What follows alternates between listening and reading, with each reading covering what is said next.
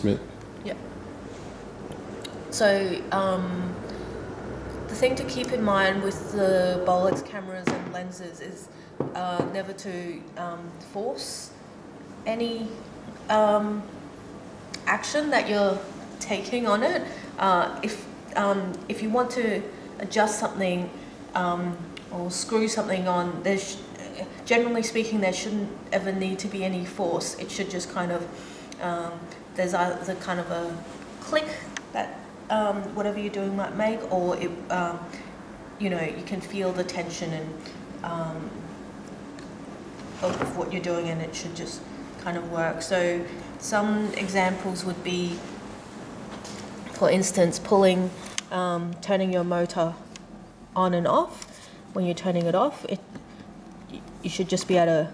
You can kind of feel this tension, and it'll just turn off. And if it's not working, it may be that you know this has somehow been stuck on this position or something like that, and it's harder for you to force that in. So, okay, it doesn't work on this camera, but some of the other cameras have that issue. Um, same with um, changing the shutter angle. Uh, you just pull this up, and then it should just gently go down to that position or whichever adjustment you're making. Um, uh, same with, actually, this is an important one. Uh, if you're um, wanting to move the turret, if you're wanting to um, turn the turret, just uh, make sure you don't just force this through. Um, you know, if that doesn't pull, then keep in mind that this this red um, lined body cap is actually has this little shaft there, which you know stops you from being able to turn this. So once that is taken out, you can turn that with ease and see here that that is um, in blocking the path. So you'll need to loosen it. And in order to loosen that part, there's this little screw here. And you just turn it anti-clockwise as a general rule. When you're unscrewing something, you're turning it anti-clockwise. If you're screwing something tight, you're turning it clockwise. So you turn it anti-clockwise. And then this should just allow you to then turn that and then you're able to um, change your taking lens and you can kind of hear the little click as this little notch kind of engages there. So there's that click, you know, there's the click there, and you can also turn it to this lens here, which if this this one doesn't click, so you'll have to just view it from your um, viewfinder. So just click that into place and then you can turn it clockwise to screw the body cap back on. Um, so now I'm going to do one on um, checking the ground glass and cleaning it and just showing you where the ground glass is. Uh, the ground glass allows you, um, it's part of the Bolex kind of optics system um, where um, you're viewing the image um, through uh, the reflex uh, prism here, and uh, you're seeing it through the ground glass, which is um, located underneath the, the taking lens. So, um, as I mentioned before, um, well, in order to access the ground glass, we need to turn this turret all the way to this other position so that we can get inside. Um, and to do that, make sure you take off uh, the locking body cap. Um, make sure that this is loose here so that you can turn the turret easily. Um, and also you need to take out your filter holder and your filter holder is here. So you just gently pull that out. And generally speaking, there shouldn't be a filter in there. Put it in a nice clean spot. Um, and then you just turn the turret. You can see the ground glass there just keep turning it all the way to here. Be very careful not to touch the ground glass. Pull the lever over to this side. And now using just use your finger and don't use you know a sharp object um, or anything else. You just gently lift this up um, and then underneath you'll be able to see the variable shutter the Bolex variable shutter. So you can grab a blower and just give it a good clean uh, both at the back of the ground glass, at the shutter. Don't use anything um, harsher than a blower. Don't use a cloth. Don't use a toothbrush. Uh, don't use um, canned air. Uh, you know, a blower is really more than sufficient. Um, and then just gently um, making sure you don't touch the ground glass at all.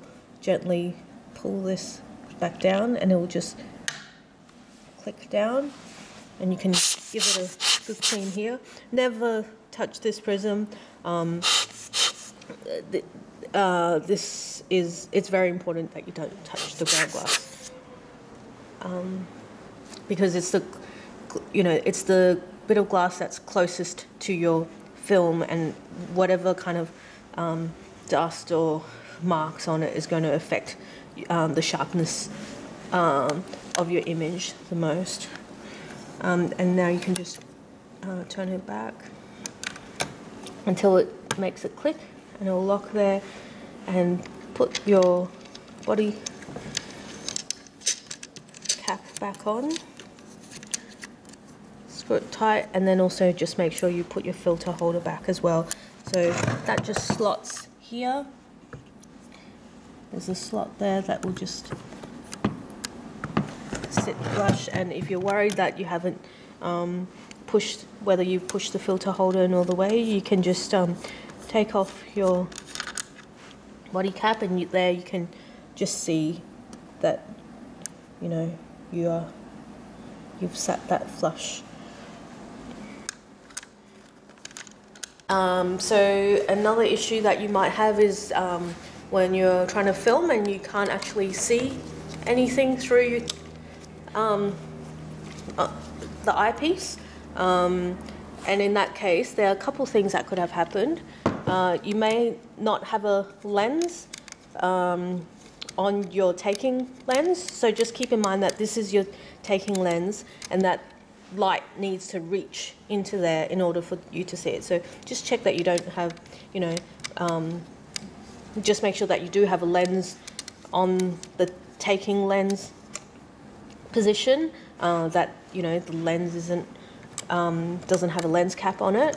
And then usually if neither of those things are the cases you've probably got um, your dowser up. So this is the up position.